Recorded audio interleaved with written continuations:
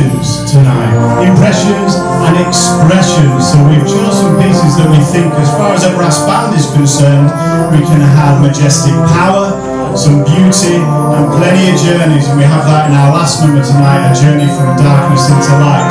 This piece behind we're playing now, it's called Make His Praise Glorious and to be said it has driving rhythms and we're going to go straight into a fantastic trombone solo called Shout. So I hope you enjoy our programme.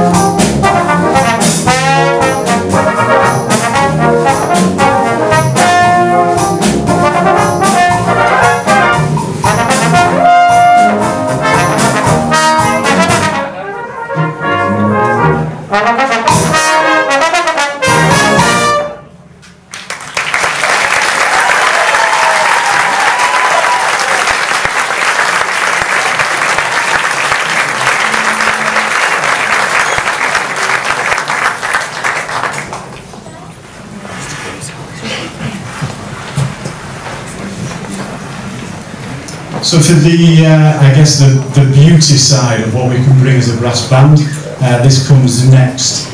Uh, our soloist that's going to play is the principal horn. Uh, he's been with the band for as long as I've been with the band, which is getting on for nine years now. He was on principal cornet, now he's on principal horn, and he's got an absolutely beautiful sound. So I hope you enjoy Tim Paul playing Evergreen.